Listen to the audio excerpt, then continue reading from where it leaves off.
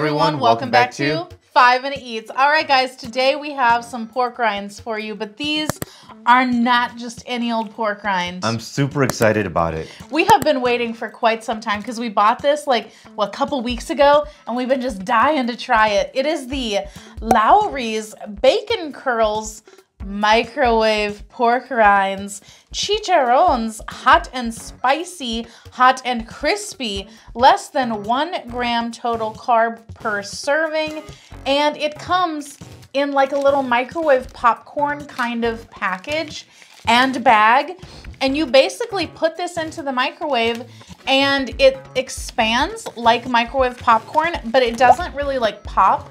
You can kind of hear it sizzling a little bit, but they say whenever it stops expanding, take it out of the microwave, and this is what we got.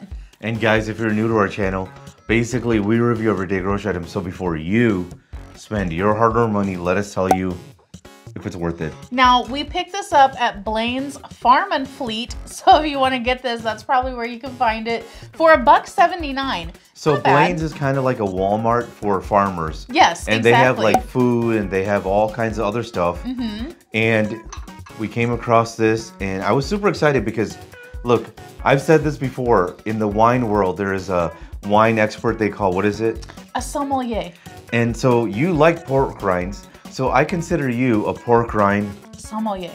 Exactly. Okay. So that's why we got to try this. I am excited about it. I think it looks pretty decent. Let's get into it. If you'd like to support this channel, the easiest way to do that is using our Amazon links the next time you shop there. All right, guys, welcome back. Our rating system. Thumbs up, we'd buy it again. Thumbs down, we would not. So for me, this is a thumbs down.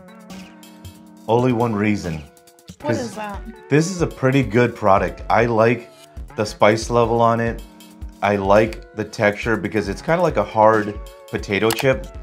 Like a kettle chip? Yeah, like a kettle chip would be a good way to describe it exactly. Overall, I'm impressed with this, but there was a deal breaker, which was the salt level was insanely high. Hmm. I can't get past that. Like every time I was eating it, I was like, man, this is pretty good, except the salt level in this is way, way too high. It's, it's just insane. Thumbs down. The salt level is about 1600 milligrams for the whole bag of it. So for me, this is going to be a thumbs down. I don't think overall the product is bad. I actually really like that you can like DIY your own little like fresh pork rinds in the microwave. I think that that's genius. Um, I like the spice level. At first I was pretty annoyed with it because I thought that it wasn't spicy at all, but boy, it really creeps up on you. So it definitely has some kick there. My big issue, two things. The salt level is pretty off the charts. It's very, very, very salty and you can't avoid it. Like it's in every single bite just assaulting you. But my biggest issue with it is that I like a specific type of pork rind. I like the ones that are a little bit like thicker. Oh no, not this one even, but you know, the thicker, fluffier ones. Yeah these are a lot of ones that are like thin and like like something like this. You can't really see it, but it's got these little like holes on the underside. I don't like that. It creeps me out. Um, so these ones that are like extra like hard and crunchy, those aren't the kind that I like. So if I'm getting like a bag of pork rinds, I don't eat those ones. I eat the ones that are like thicker and fluffier.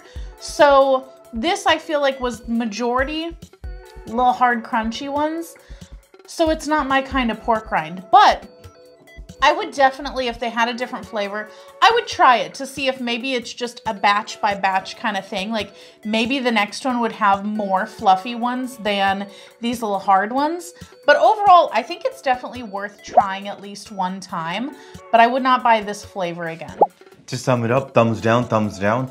And if you guys buy from Amazon, use our Amazon link. The reason is when you do that, we get 10 cents, 50 cents, possibly even a dollar, which means we can continue to review things. All right, guys, that's the video. If you like what we're doing here, definitely check out our other channel, Food Prep Inc., and don't forget to give us a like and subscribe.